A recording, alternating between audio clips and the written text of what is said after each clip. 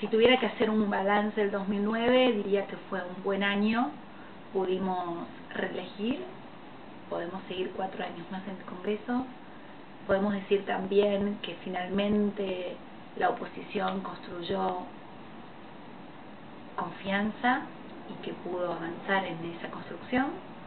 Y además creo que nuestro equipo se consolidó y logramos llevar adelante la Comisión de Modernización Parlamentaria con buenos resultados y esta es la rendición de cuentas número 12, la que estamos lanzando y queremos compartir con ustedes el balance también de la gestión legislativa que creemos que ha sido muy fructífera.